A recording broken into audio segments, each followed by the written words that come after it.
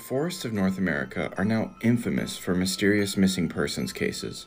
Whether you believe that's due to natural causes like people just getting lost or confused, or something more sinister like dark rituals, cryptids like Bigfoot or skinwalkers, or even aliens, it does appear as though something is lurking in the woods.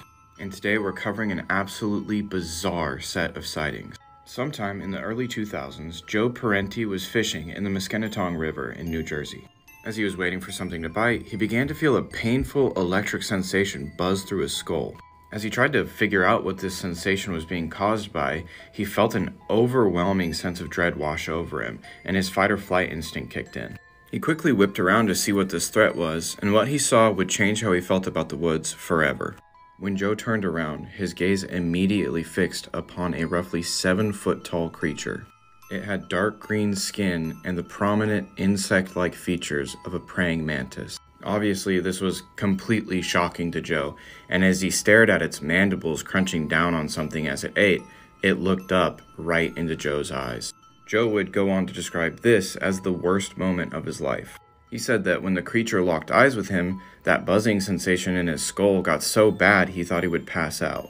And he felt as though the sensation was caused by the creature reading his mind. As Joe started backing away further into the river, this mantis man unfurled wings from his back and then vanished. In 2006, another fisherman would have an encounter with one of these mantis creatures. Paul Jacks was also fishing in the Musconetcong River when he had his encounter, and he would also describe the mantis creature as being between 6 and 7 foot tall. He describes the creature as having a triangular head with large black eyes, just like a praying mantis.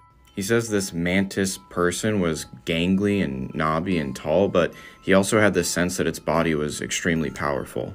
However, he didn't feel threatened by this creature. He actually thought that the creature was like amazed by him. He doesn't describe any telepathy, but he said based on the creature's body language and the way he was looking at him, he thought the creature was really impressed that he was standing in this strong current of the river. And just as he started to kind of freak out and feel weird about it, the creature would vanish.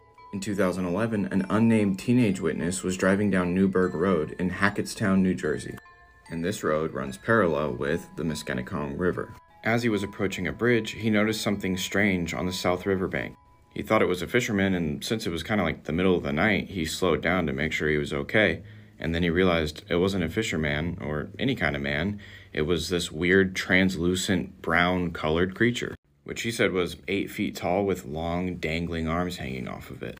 So what do you think? Could there be some kind of weird mantis men living in the woods? Can they read your mind?